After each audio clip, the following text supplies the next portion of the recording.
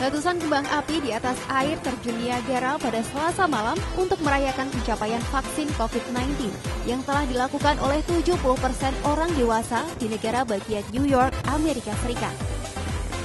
Gubernur negara bagian New York, Andrew Cuomo, mengatakan atas pencapaian ini, negara bagian New York akan mencabut larangan menjaga jarak di tempat umum.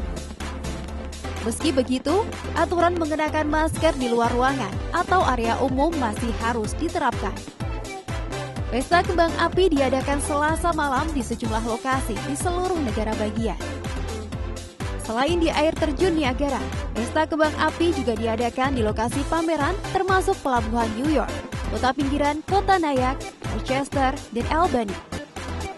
Kasus COVID-19 di Amerika Serikat mencapai 33,5 juta dengan 600 ribu jiwa meninggal dunia.